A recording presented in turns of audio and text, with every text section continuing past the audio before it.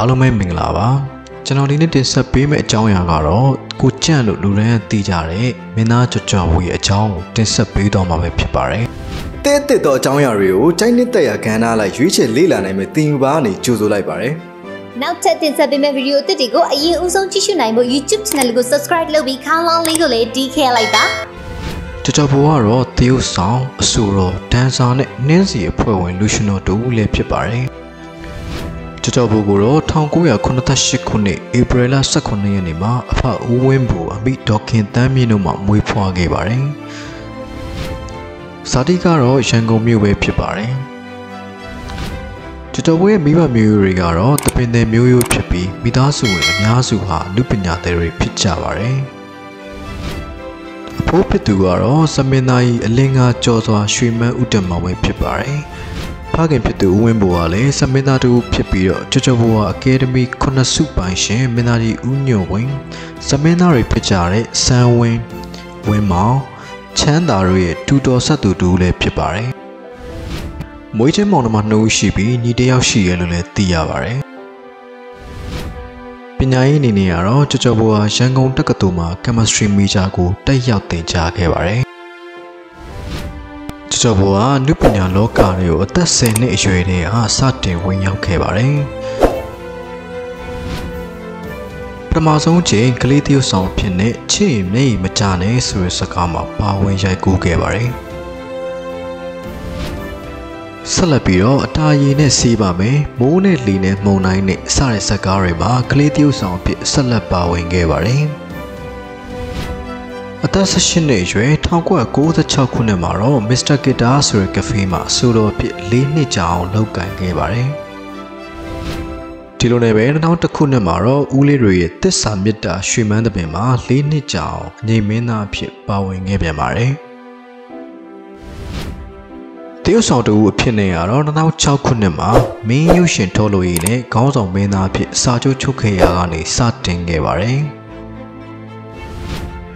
ဒရိုက်တာချီဗီရှင်ရိုက်ကူးတဲ့ဘသူပြောလဲတတော်လုံးကျွေဒရိုက်တာညိုမင်းလွင်ရိုက်ကူးတဲ့ကကကဆိုတဲ့ဇာတ်ကားတွေမှာပါဝင်တရုတ်ဆောင်ခဲ့ပြီးတော့ကြော်ကြော်ဖို့အဖြစ်လူသိများလာခဲ့ပါတယ်။ရွှေနတော်သွင်းချစ်ချင်းစကားဆိုတဲ့စကားမှာလည်းအကောင်းဆုံးသရုပ်ဆောင်နိုင်ခဲ့ပြီးအတော်လေးကိုလူကြိုက်များခဲ့ပါတယ်။2006ခုနှစ်ကနေလက်ရှိအချိန်ထိကြော်ကြော်ဘူဟာရုပ်ရှင်နဲ့ဗီဒီယိုကားပေါင်း300ကျော်ကိုရိုက်ကူးခဲ့ပြီးဖြစ်ပါတယ်။ 2018ခုနှစ်မှာတော့ကြော်ကြော်ဘူဟာသူ့ရဲ့အအောင်မြင်ဆုံးရုပ်ရှင်တွေကတစ်ခုဖြစ်တဲ့မုံဆွဲဆိုတဲ့ရုပ်ရှင်စကားကြီးမှာပါဝင်ရိုက်ကူးခဲ့ပါတယ်။ဒီစကားမှာပါဝင်ခဲ့တဲ့သရုပ်ဆောင်တွေကတော့နေတိုမင်းသွေးဖွဖွေအေးဝရီတောင်းလိုပဲဖြစ်ကြပါတယ်စကားရဲ့မျိုးစားကတော့ religious drama မျိုးစားဖြစ်ပြီးကြော်ကြော်ဘူဟာဒီစကားထဲမှာစိတ်ယုံနဲ့လိုက်ဖက်အောင်တဘာဝကြကြသရုပ်ဆောင်နိုင်ခဲ့တဲ့အတွက်အကောင်းဆုံးအမျိုးသားသက်ဆောင်စုကိုစွတ်ခူးခဲ့ပါတယ်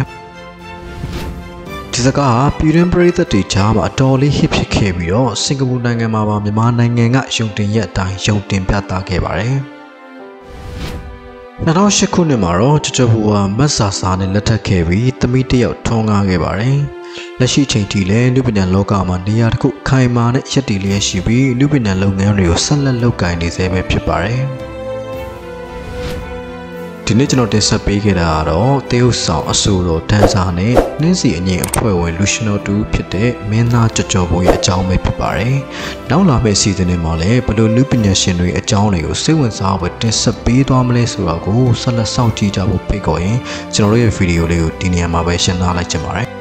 ။စေသမပြည့်ကြည့်ရှုအားပေးနေကြတဲ့သူတွေအားလုံးကိုသင်ပါနေအထူးပဲကျေးဇူးတင်ရှိပါတယ်ဗျာ။ ကျွန်တော်တို့ channel မှာဒီထက်မကကောင်းတဲ့ဗီဒီယိုတွေအများကြီးရှိနေတဲ့အတွက်ဝင်ရောက်ကြည့်ရှုနိုင်ပါတယ်။ subscribe မလုပ်ရသေးရင်လည်းလက်မတွတ်မဲ့အခုပဲအခမဲ့ subscribe လုပ်လိုက်ပါ။သင်နေလိုက်တဲ့ subscribe button နဲ့ like တစ်ချက်ကကျွန်တော်တို့ရဲ့နောက်ထပ်ဗီဒီယိုတွေနဲ့ content ကောင်းကောင်းတွေဖန်တီးပြီးသင်ရဲ့ဖုန်း screen ပေါ်ကိုယူဆလာနိုင်ဖို့အားစိတ်တစ်ခွက်ဖြစ်တာကြောင့်ဒီဗီဒီယိုကိုသင်တငယ်ချင်းတွေလည်းကြည့်ရှုလို့ရအောင်အခုပဲ share လိုက်ပါ။အားလုံးပဲမင်္ဂလာပါ။ ခုတစ်ခါမှာတော့ရုပ်ရှင်ဇာတ်ကားတွေမှာတဘာဝကြကြသေုပ်ဆောင်တတ်ပြီးစက်တည်ရှိအလှပိုင်ရှင်မင်းသမီးတူဖြစ်တဲ့ Super Try အကြောင်းတင်ဆက်ပေးသွားမှာပဲဖြစ်ပါတယ်။မိုဟီကိုဟာ Grade 9ကျောင်းသူအရွယ်ကလေးကတင်မိုးလွင် Moral Training ကိုတက်ရောက်ခဲ့ပါတယ်။အနုပညာလောကထဲကိုတော့ model အဖြစ်နဲ့1999ခုနှစ်မှာစတင်ဝင်ရောက်ခဲ့ပါတယ်